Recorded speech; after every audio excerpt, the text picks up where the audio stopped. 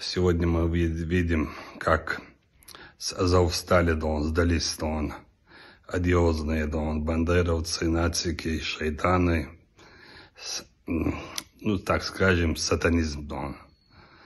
И они сдались, мучились сами, мучили до мирных населений, раненых. Это абсолютно непонятная ситуация, да.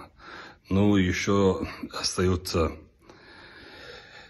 те, да, их, да, единомышленники, да, которые якобы воюют, защищают Украину, народ украинский, да. Народ украинский, Украину защищает наш президент Владимир Владимирович Путин больше всех украинцев. И это доказательство, да он, Азов сталь в том числе, да он.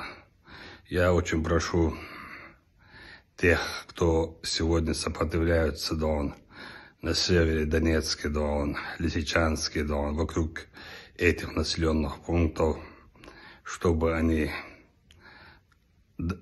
додумались, додумались он и сложили оружие, пока их не загнали угол, пока их не уничтожили, не уничтожили, да он.